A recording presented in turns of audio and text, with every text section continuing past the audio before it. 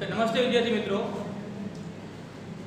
આજે આપણે કાલનું જે ઉદાહરણ અધૂરું હતું, બરાબર એ આગળ વધારીએ.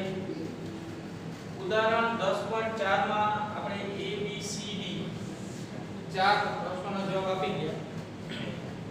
બરાબર, પ્રશ્ન શું હતો? તો કે નીચે જે દર્શાવેલ દરેક ક્રિયા છે, એના કારણે યંગના બે સ્લીટના પ્રયોગમાં વ્યક્તિકરણ સલાહકારો પર શું અસર થાય? બરાબર? એટલે કે વ્યક્તિકરણ સલાકાઓ વચ્ચેનું અંતર સલાકાની પહોળાઈ, આ પરિમાણો પર આ દરેક ક્રિયાઓને કારણે શું અસર થાય એની વાત આપણે કરતા હતા. બરાબર? ચાર જવાબ આપણે મેળવી લીધા છે.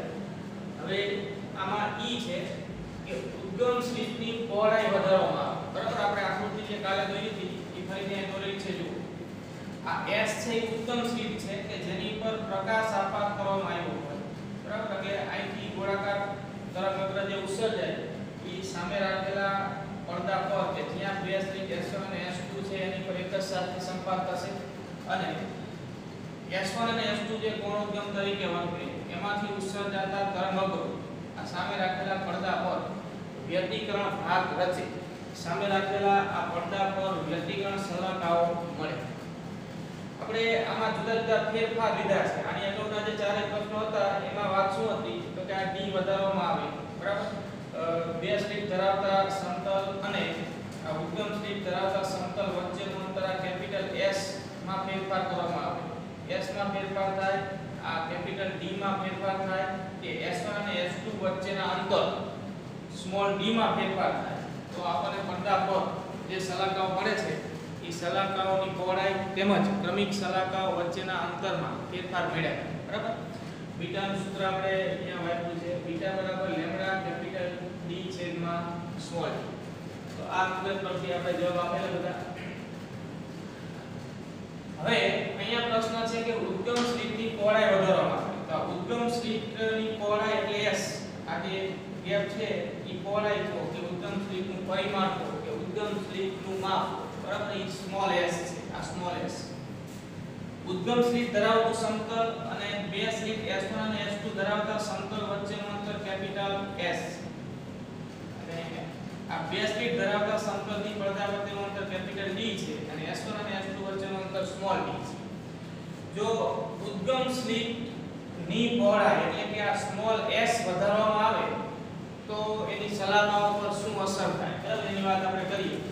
તો આની પહેલા જે d પડી ગયા d આની પહેલાનો જે પ્રશ્ન હતો, એમાં પણ આપણે આ શરત આપી હતી. અહીંયા ઈ શરત વાપરવાની કે પડદા પર વ્યક્તિકરણ દેખાય તે માટેની આ શરત છે કે સ્મોલ s છેદમાં capital S less than lambda by d and small s ઉદ્ગમ સ્લિપની પહોળાઈ થઈ કેપિટલ S આ અંતર થઈ, લેમ્ડા અને વપરાયેલ પ્રકાશની તરંગ લંબાઈ થઈ અને સ્મોલ d છે એ S1 અને S2 વચ્ચેનું અંતર છે. જો આ શરતનું પાલન થાય, તો જ પડદા પર વ્યતિકરણ સલાકાઓ જોવા મળે. હવે અહીંયા આપણને કીધું છે કે ઉદ્ગમ સ્લીપની પહોળાઈ વધારવામાં આવે, એટલે કે સ્મોલ s માં વધારો કરવાનો. જો ઉદ્ગમ સ્લીપની પહોળાઈ સ્મોલ s વધારવામાં આવે બરાબર? આ સ્મોલ s વધારવામાં આવે, બીજા બધા કોઈ ફેરફાર નથી કરવાનો. હવે સ્મોલ s વધશે એનો અર્થ કે s by s ગુણોત્તર મોટો થશે, અંશ મોટો થાય છે s વધે છે, એટલે ગુણોત્તર વધશે. માટે ગુણોત્તર small s by capital S વધશે.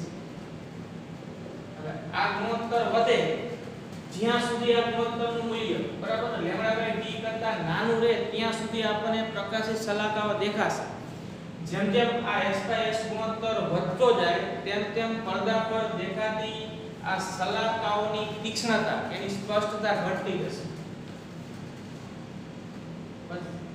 જેમ s બાય s ગુણોત્તર વધશે, બરાબર, આ તમે સ્મોલ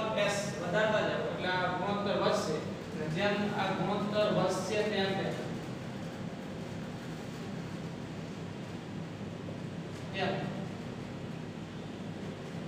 પડદા પર સલાકાઓની તીક્ષ્ણતા કે સ્પષ્ટતા.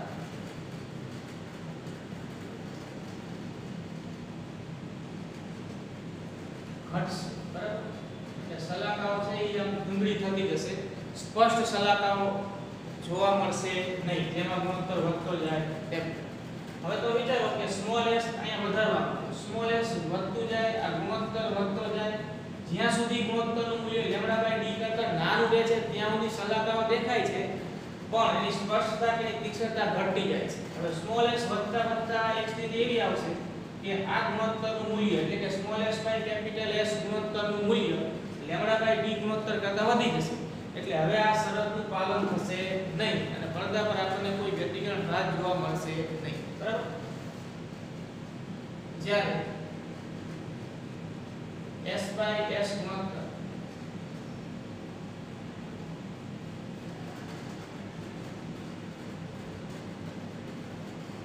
મૂલ્ય લેમ્ડા બાય d કરતા વધે ત્યારે પડદા પર સલાકાઓ દેખાતી બંધ થશે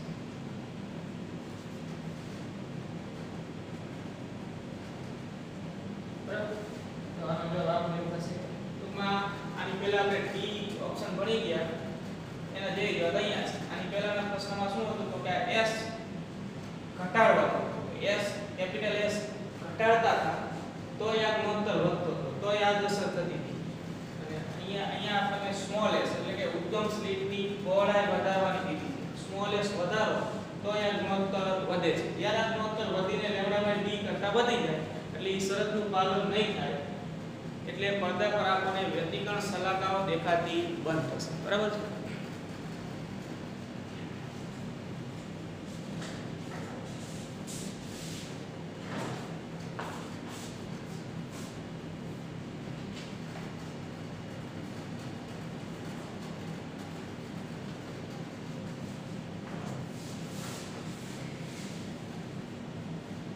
હવે આમાં એક જોઈએ કે એકરંગી પ્રકાશ ઉદ્ગમને બદલે સફેદ પ્રકાશ લેવામાં આવે જો આપણે અહીંયા એકરંગી પ્રકાશ આપાત કરતા હતા એની જગ્યાએ જો અહીંયા આપાત પ્રકાશ સફેદ રંગનો હોય તો શું અહીંયા અસર જોવા મળશે બરાબર એની વાત કરવી છે એકરંગી પ્રકાશને બદલે સફેદ પ્રકાશ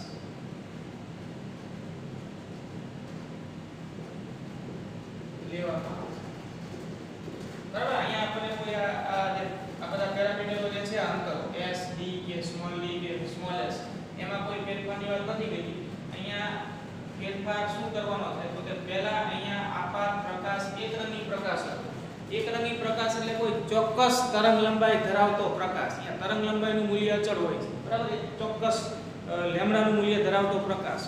પછી બ્લુ લાઇટ છે કે રેડ છે કે યલો છે, બરાબર? ચોક્કસ તરંગ લંબાઈ ધરાવતો પ્રકાશ આપાત કર્યો એટલે લેમડા અચળ હવે એક રંગી પ્રકાશને બદલે આપણે સફેદ પ્રકાશનો ઉપયોગ કરી અહીંયા આપાત પ્રકાશ જે છે ઉદ્ગમ સ્લિટ પર જે પ્રકાશ આપાત કરવામાં આવે એ આપાત પ્રકાશ જો સફેદ પ્રકાશ હોય સ્ટ્રેટ લાઇન બરાબર? સફેદ પ્રકાશ છે એ કુલ સાત રંગોનો બનેલો આપણે જાણીએ છીએ. બરાબર? આની અગાઉના ચેપ્ટરમાં આપણે પ્રિઝમ વડે આ શ્વેત પ્રકાશનું વિભાજન કર્યું અને એમાં આપણને સાત રંગો જોવા મળે છે. તો જો આ ઉદ્ગમ સ્લિટ પર સફેદ પ્રકાશ આપાત થાય, એનો એમાં સાતે સાત રંગને અનુરૂપ પ્રકાશની તરંગ લંબાઈઓ હાજર હોય છે. બરાબર? તો અહીંયા વ્યક્તિગણ સલાહકારો જે મળે, અહીંયા શ્વેત લાઇટ આપણે વાપરીએ, સફેદ પ્રકાશ વાપરીએ. અને જે વ્યતિકરણ સલાકાઓ મળે, એમાં શું ફેરફાર થાય? એકરંગી પ્રકાશ વાપર્યો તો ત્યારે જે વ્યતિકરણ સલાકાઓ મળતી હતી, એની જગ્યાએ શ્વેત પ્રકાશ વાપરીએ, ત્યારે વ્યતિકરણ સલાકાઓ કોઈની શું અસર થાય? બરાબર? એની વાત આપણે કરવી છે. એટલે આ કિસ્સામાં અહીંયા સફેદ પ્રકાશ. એ શ્વેત થાય બરાબર તો હવે જો એમાં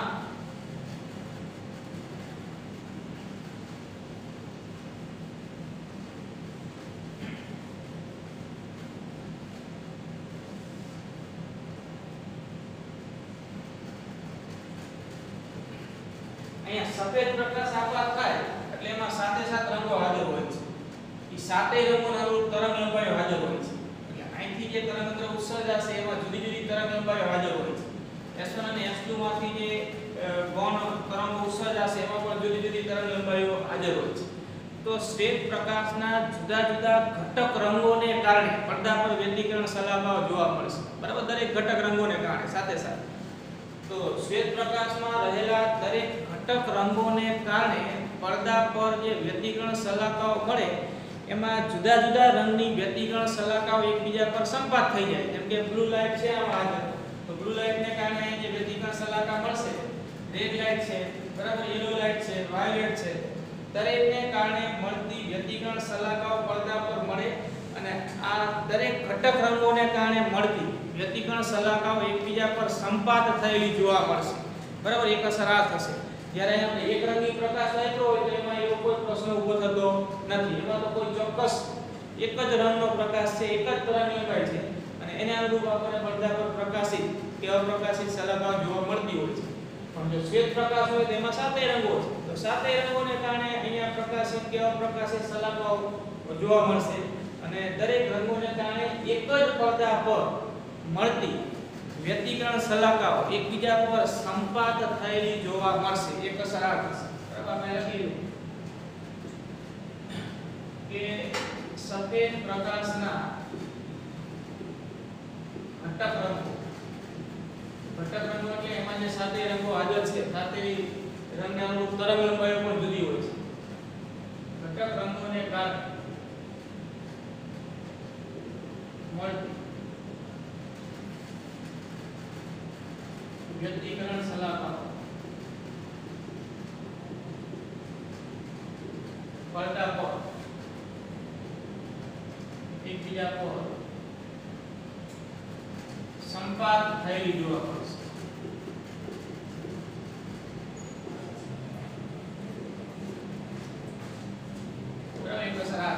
બીજું કે જે મધ્યસ્થ અધિકતમ મળે, મધ્યસ્થ અધિકતમ કે મધ્યસ્થ પ્રકાશિત સલાહકાર. ત્યાં S1 S2 ના લંબ વિભાજક પર પટ્ટા પર રહેલા બિંદુએ મળતી હોય છે. તો એ મધ્યસ્થ અધિકતમ સલાહકાર કે મધ્યસ્થ પ્રકાશિત સલાહકાર પડદા પરના જે બિંદુ પાસે જોવા મળે છે એ દરેક રંગ માટે સ્થાન એક જ હશે. એટલે કે જો આ શ્વેત પ્રકાશમાં રાતા રંગને અનુરૂપ તરંગ લંબાઈ જે હોય અને એની જે મધ્યસ્થ પ્રકાશિત સલાહકાર જ્યાં રચાય, ત્યાં બ્લુ રંગને અનુરૂપ તરંગ લંબાઈ જે હોય, એની મધ્યસ્થ પ્રકાશિત સલાહકાર રચાય. અહીંયા બીજા દરેક રંગોને અનુરૂપ તરંગ લંબાઈ જે મળતી હોય અને એની મધ્યસ્થ પ્રકાશિત સલાહકાર ભાગા પર એક જ સ્થાને રચાય. તો દરેક રંગને કારણે મળતી મધ્યસ્થ પ્રકાશી સલાહકાર પડદા પર એક જ સ્થાને જો રચાતી હોય જ્યાં દરેક રંગને અનુરૂપ અ, સલાહકાર એક જ સ્થાને હોય. દરેક રંગ મિશ્ર થાય સાથે સાત રંગો. તો એ કેવો પ્રકાશ કહેવાય? તો કે શ્વેત પ્રકાશ. શ્વેત પ્રકાશ સાત રંગોનો બનેલો છે. સાતે રંગો ભેગા થાય તો એ રંગ કેવો મળશે? તો કે શ્વેત અથવા તો સફેદ રંગ. બરાબર? એટલે અસર આ આપણે લખીએ. કે મધ્યસ્થ પ્રકાશિત સલાહ. પડદા પર. દરેક રંગોને કારણે. એક જ સ્થાને રચાશે. એક જ સ્થાને રચાશે. દરેક રંગોને કારણે મધ્યસ્થ પ્રકાશિત સલાહકા એક જ સ્થાને રચાય છે. તો ઈ સ્થાન પર સાતેય રંગોની મધ્યસ્થ પ્રકાશિત સલાકા છે. એનો અર્થ કે ઈ સલાકા જે આપણને દેખાશે, ઈ સાતેય રંગોનું મિશ્રણ કરો એવા રંગની દેખાય. તો સાતેય રંગોનું મિશ્રણ થાય એટલે કેવો રંગ મળે? કે સફેદ બરાબર? માટે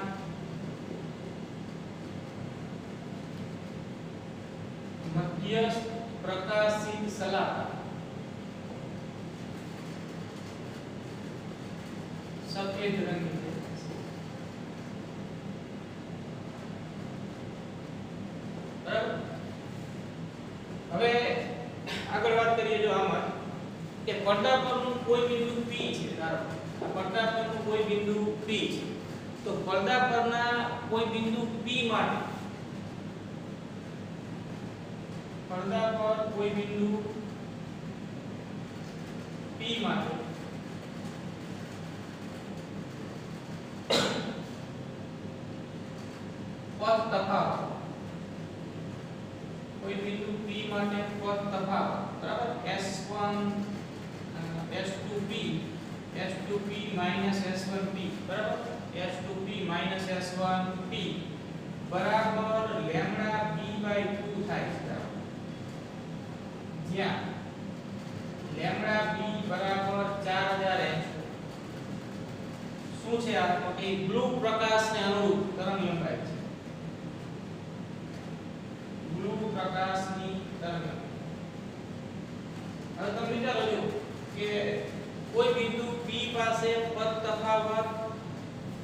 પ્રકાશ ને અનુરૂપ તરંગ લંબાઈના અપૂર્ણાંક ગુણાંકમાં છે. 1/2 લેમ્ડા b થયો લેમ્ડા b 2 એટલે. તો એનો અર્થ કે અહીંયા બ્લુ રંગ હાજર હશે નહીં. એની જગ્યાએ રાતો રંગ. જોવા મળશે.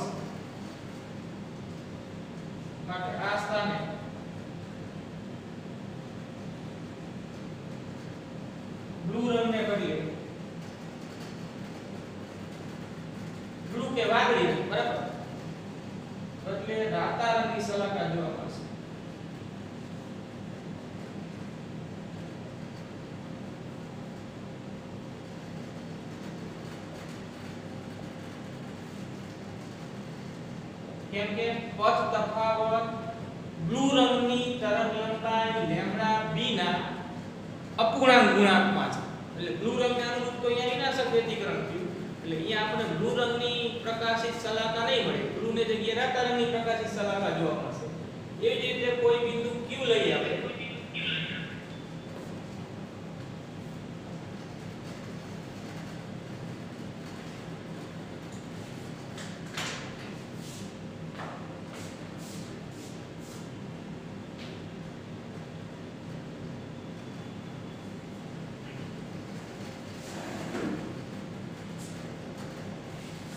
જો આવી જ રીતે આજે B બિંદુ માટે વાત કરી એવું અન્ય કોઈ બિંદુ Q લઈએ આપણે પડતા જો પડતા પર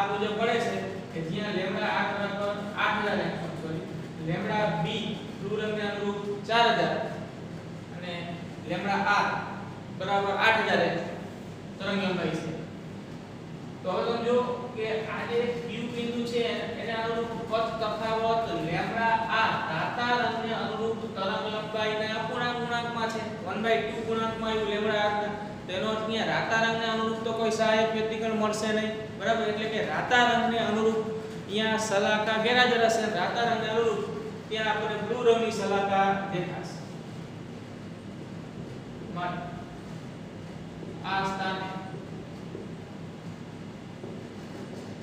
rata demi selaka. Biar aja atau rata bagi ya?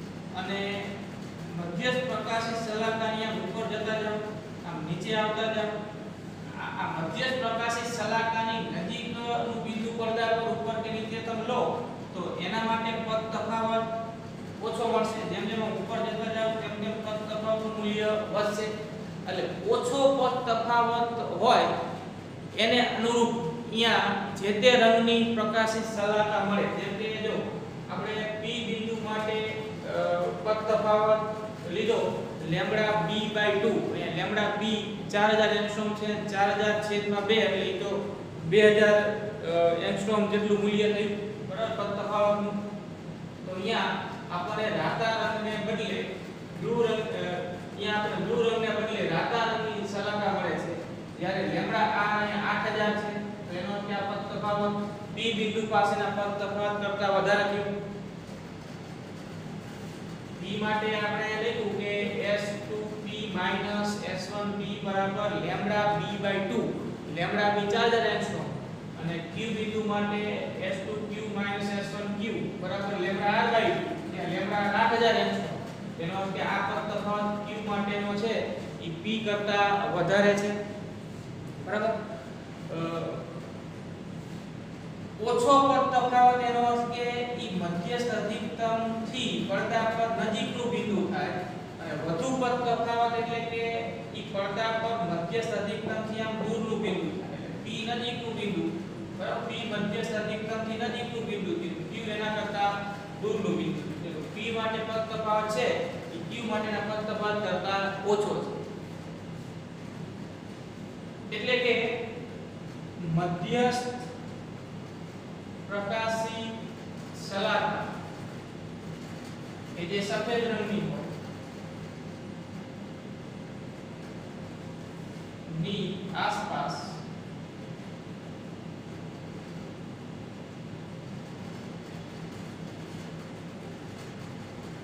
આસપાસ નજીકના વિસ્તાર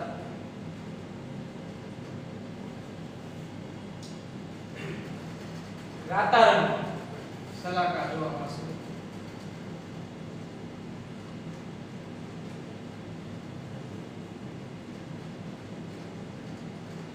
અને દૂરના વિસ્તાર એટલે કે આમ પડદા પર આમ દૂર મધ્યસ્થ અધિકતમથી પ્રમાણમાં દૂર આ બે કર દૂર અને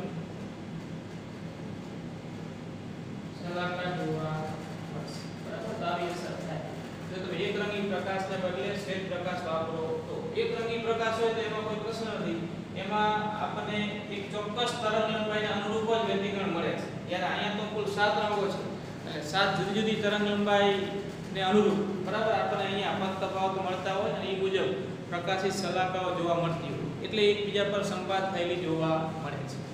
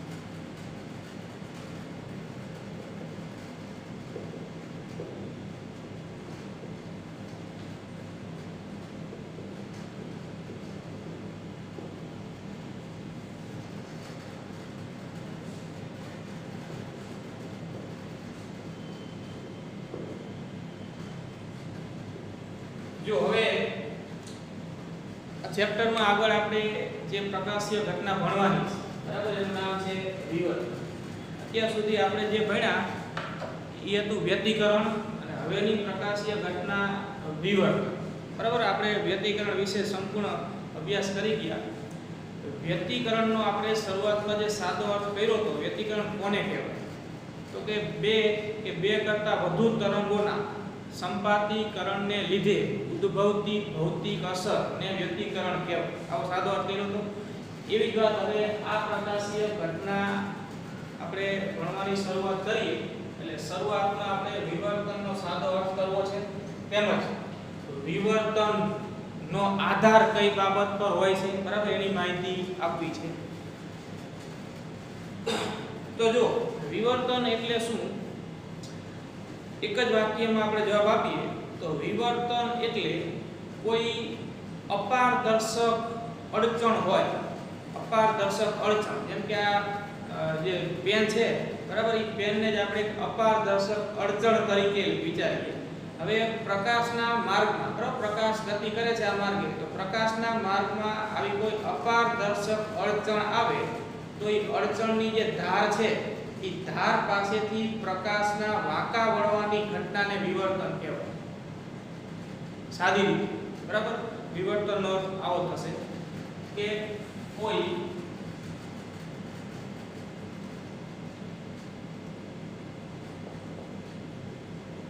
અપારદર્શક પરચમની ધાર પાસેથી પ્રકાશના પાકા વળવાની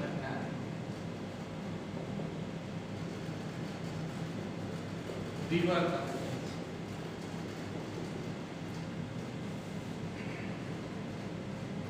આ વિવર્તનનો સાદો અર્થ આપણે કર્યો.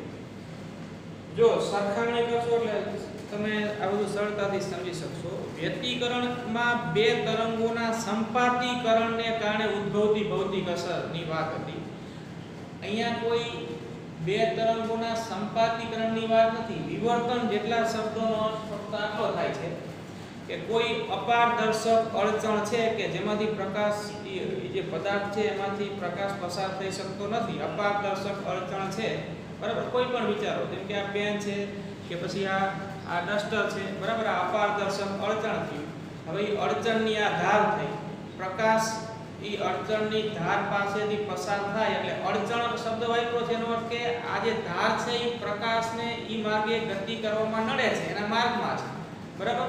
તો પ્રકાશ ગતિ કરતો આ અળતરની ધાર પાસે પહોંચે ત્યારે અહીંયાથી એ કંઈક અંશે વાંકો વળે છે. એના એના ગતિ, ગતિમાર્ગ એનો અમુક અંશે બદલાય છે. તો પ્રકાશના વાંકા વળવાની ઘટનાને આપણે શું કહેશું? વિવર્તન બરાબર? તમે એક સાદું પરિસ્થિતિ વિચારી શકો. જો, એક બંધ ઓરડી છે, બંધ ઓરડી. બરાબર? ફક્ત એક જ નાની એવી બારી ઓળીમાં મૂકેલી છે. એક બંધ ઓળીમાં આવી નાની બારી મૂકેલી છે. બરાબર? બાકી બધી દિવાલો પેક છે, બંધ ઓળી છે. હવે સૂર્યપ્રકાશ એ બારી પર પડે, આ બારી ખુલી છે. આ બારી પર પડે એટલે એ બારીનું જે પરિમાણ છે એ પ્રમાણે આ બારી જે દિવાલ પર છે, એની સામેની દિવાલ પર આટલો ભાગનો પડછાયો પડશે સામેના ભાગમાં. બરાબર? અહીંયા આ ધારો કે ક્લાસરૂમ અહીંયા બારી બનાવેલી છે, તો આમથી સૂર્યપ્રકાશ અહીંયા પ્રવેશે, તો સામેની દીવાલ પર જે બારી છે એનો પડછાયો પડશે. બરાબર? તમે જોઈ શકો છો કે બારીનું જેટલું પરિમાણ હોય, એના કરતાં એ પડછાયાનું પરિમાણ મોટું હશે. તેમજ ઈ જે પડછાયો પડે છે, ઈ પડછાયાની જે કિનારી હોય બરાબર? ઈ કિનારી પર તમે જુઓ, તો ઈ કિનારી પર આપણને પ્રકાશ આમ ફેલાઈ ગયેલો હોય એવો મળે છે. કોઈક જગ્યાએ પ્રકાશિત ભાગ તો કોઈક જગ્યાએ અપ્રકાશિત ભાગ જોવા મળે છે. બરાબર?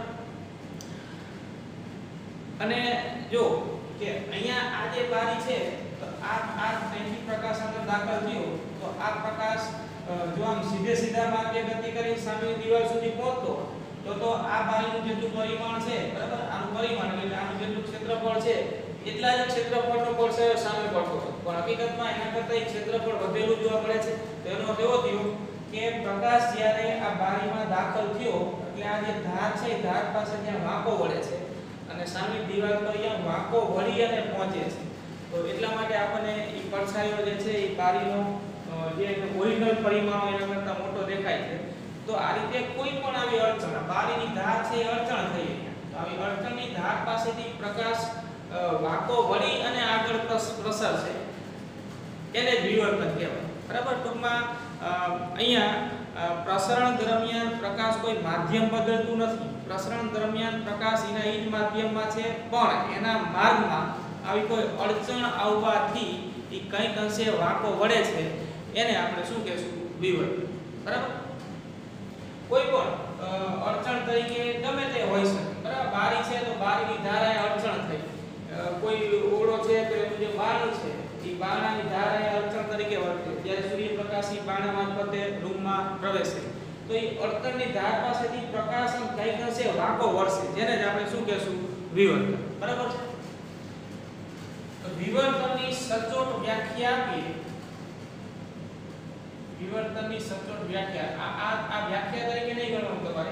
એની વ્યાખ્યા આ રીતે અપાય કે વિવર્તન એટલે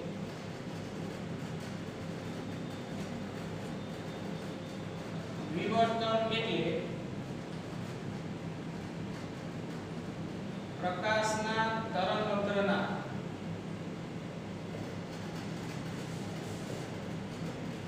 મર્યાદિત ભાગ વડે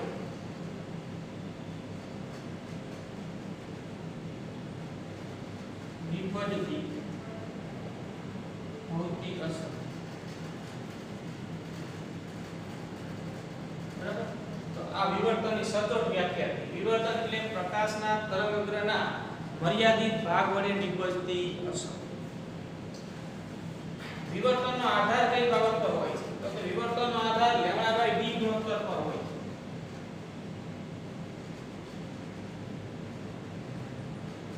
વિવર્તનનો આધાર લેમ્ડા બાય ડી ગુણોત્તર પર હોય છે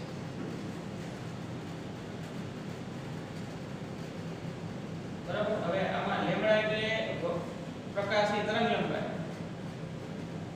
વપરાયેલ પ્રકાશની તરંગ લંબાઈ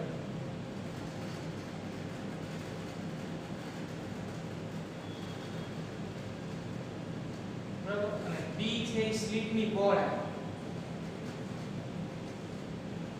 સ્લિટની પહોળાઈ હવે આપણે સ્લિટ શબ્દ અહીંયા વાપરીશું યા અર્થમાં જો જેમ કે આપણે આ રીતે બે અડચણ અહીંયા આમ રાખી એક આ અડચણ છે બરાબર આ પેન આ ફીકી તો આ પેન કે જે પણ કઈ અપારદર્શક વસ્તુ તમે વિચારીશું બીજી એક અપારદર્શક વસ્તુ આમ વિચારી બરાબર તો આ જે આ જે ગેપ છે આ ગેપ આ ગેપને જ આપણે સ્લીટ કહેશું અને આ ગેપ જેટલી લંબાઈની છે બરાબર એ સ્લીટની પહોળાઈ કહેવાય. આટલી પહોળાઈની સ્લીટ છે આપણે હમણાં બારીની વાત કરી તો એ બારીની પહોળાઈ એ સ્લીટની પહોળાઈ બરાબર બારણું છે તો પહોળાઈ, સ્લીપની પહોળાઈ, અહીંયા બારણું સ્લીપ તરીકે કહેવાય. બારી તો બારી સ્લીપ તરીકે કહેવાય. તો આવી બે અપારદર્શક વસ્તુ વડે આવી ગેપ તૈયાર કરો, તો આ સ્લીપ થઈ અને આ સ્લીપની પહોળાઈ ડી આની પર જે પ્રકાશ આપાત થાય છે, એ પ્રકાશની તરંગ તરંગલંબાઈ લેમ્ડા તો આ લેમ્ડા બાય ડી ગુણોત્તર પ્રકાશની તરંગલંબાઈ અને આ સ્લીપની પહોળાઈ ડી તો લેમ્ડા બાય ડી ગુણોત્તર પર વિવર્તનનો આધાર હોય છે. જો લેમ્ડા બાય ડી ગુણોત્તરનું મૂલ્ય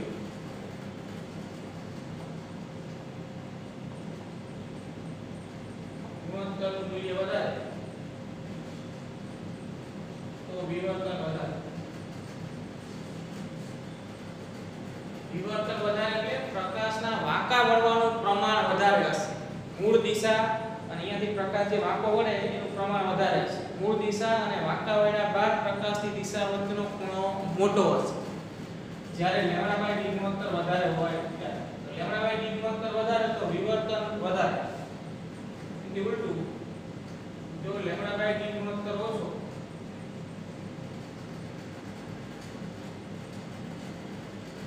તો વિવર્તન ઓછું. બરાબર?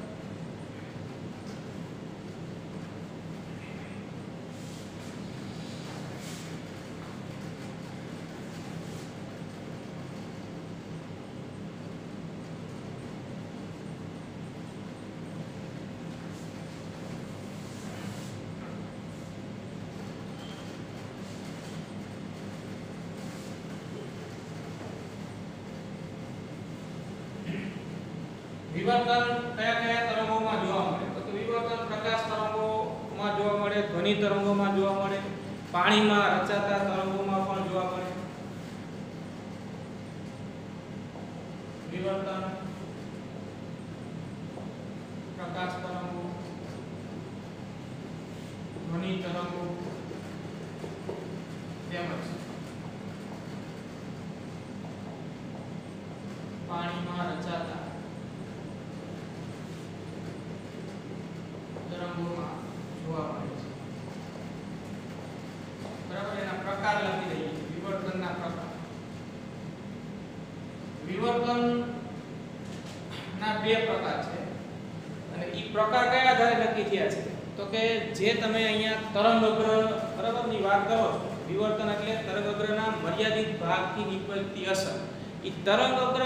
પ્રકારનું છે. એની પર વિવર્તનનો પ્રકાર આધાર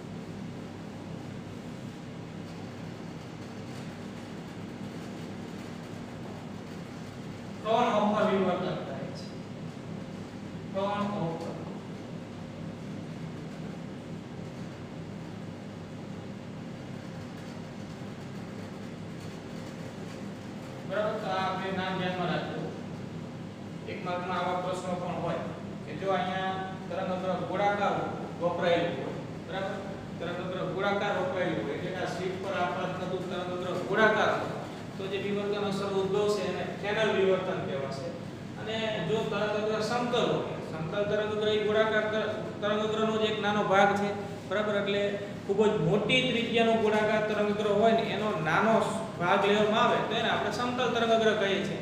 આવો નાનો ભાગ આ સી પર આપાત થયો તેની પર આપાત થતો તરંગગ્ર સમતલ કહેવાય. અને સમતલ તરંગગ્રના મર્યાદિત ભાગથી જે અસર નીપજશે એટલે કે જે વિવર્તન થશે, એને આપણે શું કહીશું? ફ્રોન ઓફર બરાબર? તો આ પ્રકાર પણ ધ્યાનમાં રાખો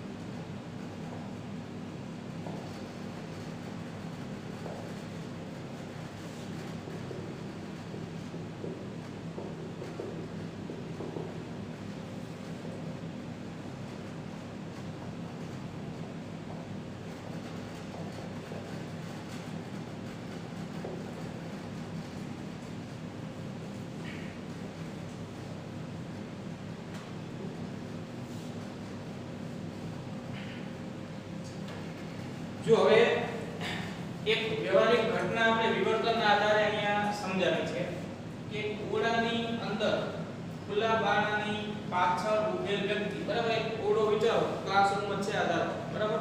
આ ક્લાસરૂમનું બારણું છે, એ ખુલ્લું છે, બાકી બીજું બધું પેક છે. હવે એક વ્યક્તિ ક્લાસરૂમની અંદર, બરાબર? આ બાજુની દિવાલની પાછળ ઊભો છે. બીજો વ્યક્તિ ક્લાસરૂમની બહાર ઊભો છે, બરાબર? અને બારણું એક જ છે ને બારણું ખુલ્લું છે, બાકી બધી દિવાલો પેક છે.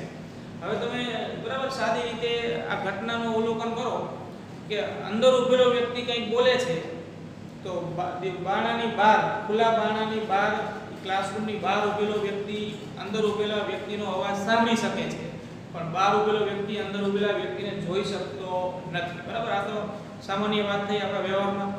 તો આ ઘટના આપણે વિવર્તનના આધારે સમજાવી છે. કઈ રીતે સમજાવી શકાય? જો કોઈ વસ્તુ તમે જુઓ છો, તો એના માટે શું જરૂરી છે? તો કે આપણને કોઈ વસ્તુ દેખાય એના માટે જરૂરી છે કે એની ઈ જે વસ્તુ છે એના પરથી આવતો દ્રશ્ય પ્રકાશ આપણી આંખ સુધી પહોંચે તો આપણને વસ્તુ દેખાશે. બરાબર?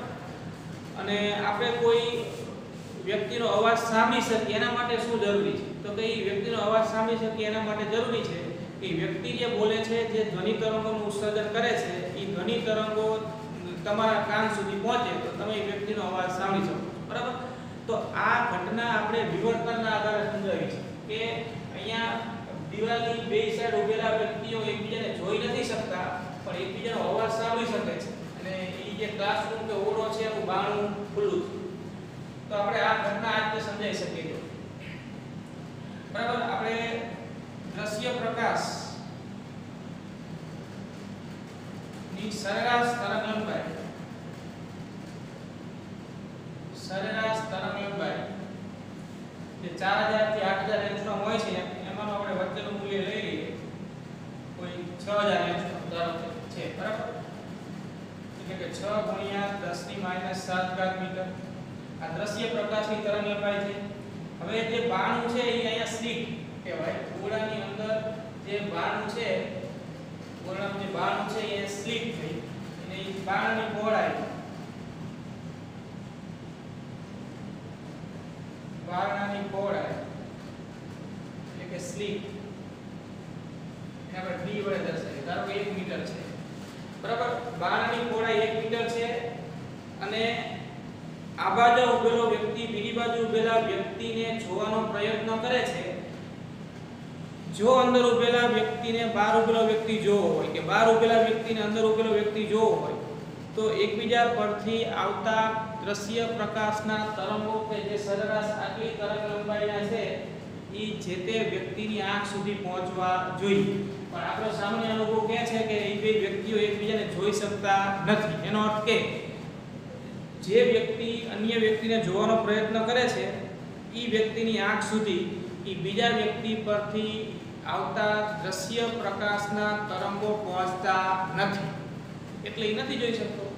કેમ નથી પહોંચતા? તો એનું કારણ વિવર્તન છે. તો કે આપણે લેમડા ટુ લીધું બારણું જે ખુલ્લું છે એની પહોળાઈ એક મીટર લીધી. બરાબર? અહીંયા વ્યક્તિઓ આમ ખુલ્લા બાણાની સામે આમ નથી ઊભા. બાણું ખુલ્લું છે, વ્યક્તિ ક્લાસની અંદર આમ દિવાલની સાઈડમાં ઊભો છે. બીજો વ્યક્તિ ક્લાસરૂમની બહાર ઊભો છે. બાણું ખુલ્લું છે અને બાણાની સામ સામે આમ નથી ઊભા વ્યક્તિ દિવાલની સાઈડ પર આમ ઊભા છે. બરાબર? ત્યાં દિવાલ છે. તો દ્રશ્ય પ્રકાશની તરંગલંબાઈ આપણી બાણું જે સ્વીપ કહેવાય, જેની પહોળાઈ ધારો કે 1 મીટર છે, તો આ કિસ્સામાં લેમ્બડા બાય ડી અંતર શોધીએ તો લેમડા 6 ગુણ્યા 10 ની માઇનસ 7 ઘાત મીટર અને ડી 1 મીટર.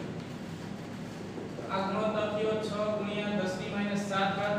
તો આ ગુણોત્તરનું મૂલ્ય તમે જોઈ શકો છો ખૂબ જ ઓછું છે. 6 ની 10 ની માઇનસ 7 ઘાત ગુણકમાં છે. અહીંયા લેમ્બડા બાય ડી અંતર ખૂબ ઓછો થાય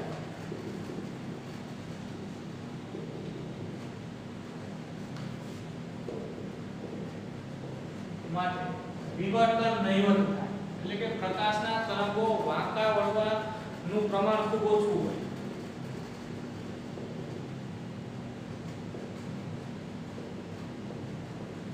પ્રકાશના તરંગો માટે લેમ્બડા બાય ડી ગુણોત્તર ખૂબ ઓછો મળે છે, માટે વિવર્તન ખૂબ ઓછું થાય છે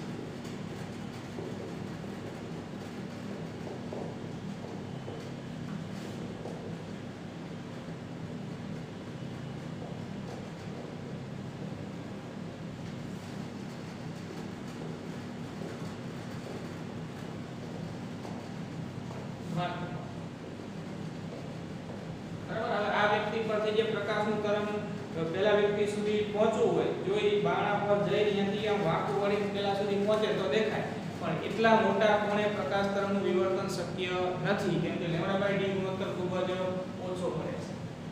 માટે બંને વ્યક્તિઓ એકબીજાને જોઈ શકતા નથી.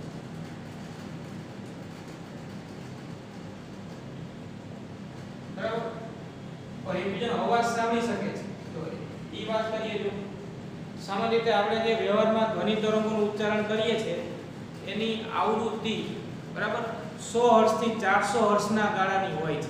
હવે એમાંનું કોઈ કુલિયર જે વ્યક્તિ અંદર ઉભેલો વ્યક્તિ જે બોલે છે, એને ઉત્સર્જાયેલા ધ્વનિ તરંગોની આવૃત્તિ એ 100 થી 400 હર્ટ્ઝની વચ્ચેના ગાળાની કોઈ હોય છે. ધારો કે એને જે ધ્વનિનું ઉચ્ચારણ કર્યું, એ ધ્વનિ તરંગની આવૃત્તિ 330 હર્ટ્ઝ છે. બરાબર? કે 100 થી 400 હર્ટ્ઝની વચ્ચેના કોઈ પણ આવૃત્તિનું ધ્વનિ તરંગ જે તે વ્યક્તિ બોલે એ દરમિયાન ઉત્સર્જન ધારો કે એને જે ધ્વનિ તરંગનું ઉત્સર્જન કર્યું ત્રણસો ત્રીસ હર્ટ આવૃત્તિ ધરાવે છે.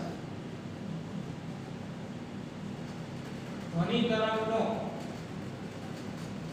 હવામાં વેગ. આશરે 330 મીટર પર સેકન્ડ હોય છે. બરાબર? એમાં એક, હવાના માધ્યમ પર આધાર રાખે. જે તે હવાનું માધ્યમ પણ દરેક ગીગા હરખું ન હોય.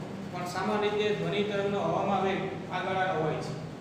તો જો આવૃત્તિ આટલી હોય ઉત્સર્જાયેલા ધ્વનિ તરંગની, એનો વેગ આટલો હોય, તો ધ્વનિ તરંગની તરંગ લંબાઈ શોધીએ પહેલા આપણે?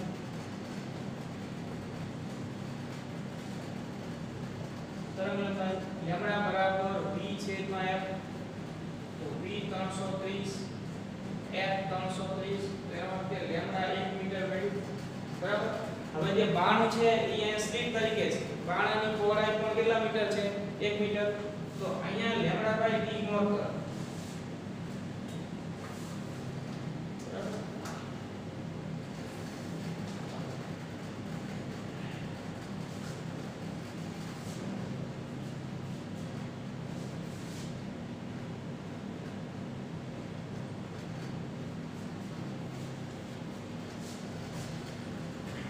જો આ લેમ્ડા 1 મીટર d 1 મીટર તો ધ્વનિ તરંગોના કિસ્સામાં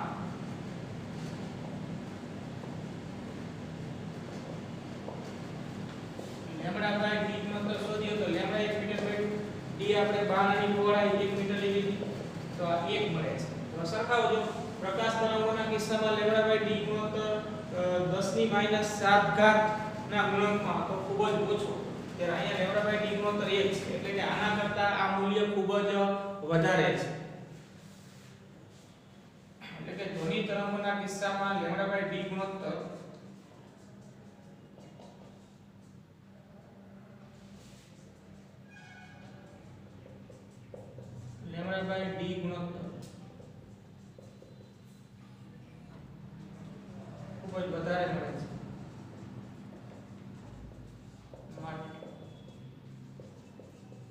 ધ્વનિ તરંગોનું.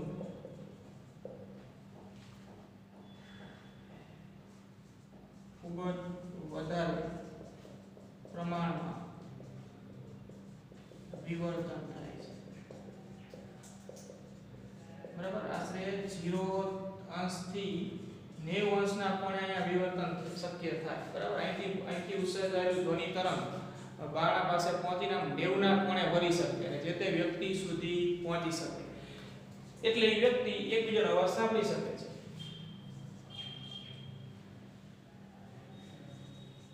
માટે વ્યક્તિઓ કે જે દિવાલની આગળ પાછળ ઊભા છે, બરાબર? એ વ્યક્તિઓ એકબીજાનો અવાજ સાંભળી શકે છે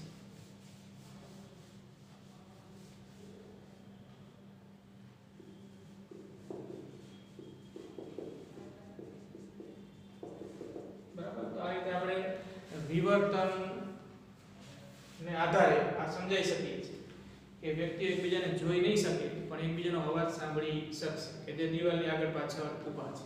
બરાબર?